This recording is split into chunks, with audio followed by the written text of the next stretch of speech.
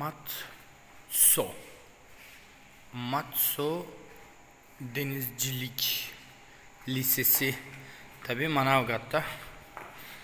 Evet, buranın fiber optik işlerini bitirdik.